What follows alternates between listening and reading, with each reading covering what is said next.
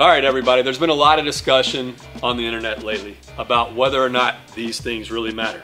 Does the golf shaft really matter?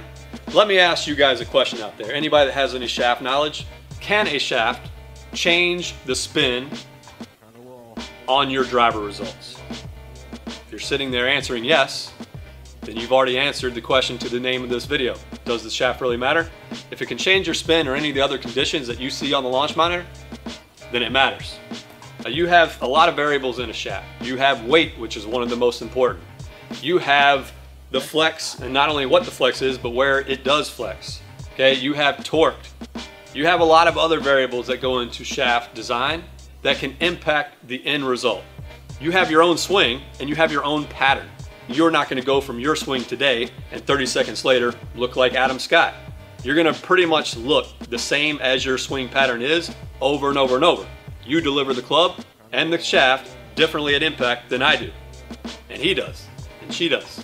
So the shaft reacts to that. Now, it is true that if you are in the middle of the bell curve, meaning you have a pretty standard swing in regards to how you load the shaft and unload the shaft, the shaft might not play as big of a role.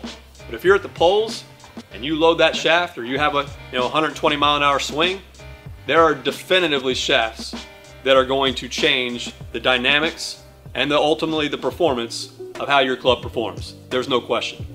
So today we're going to give you an example of just how much a shaft can actually make a difference in the performance of your club. We're going to bring in Harry Nodwell here in a minute. He works at My Golf Spy. He's an All-American golfer. Don't really know how because when he first came in here, uh, he was giving up about 30 or 40 yards because he didn't know what the hell was going on with his equipment.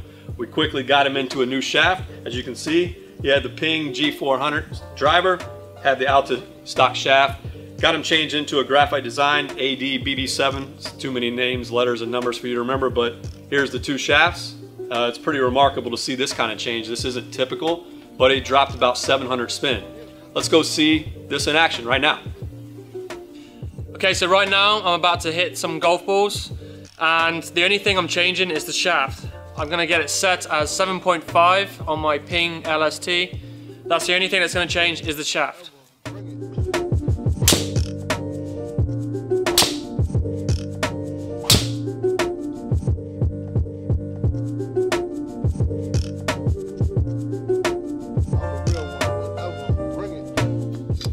Okay, now we're gonna switch to my shaft right now, which is the BB. Same loft, same lie, same everything. Just the shaft has changed.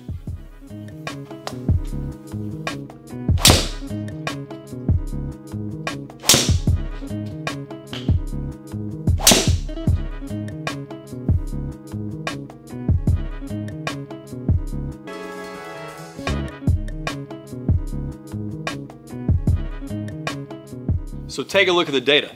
It's pretty compelling.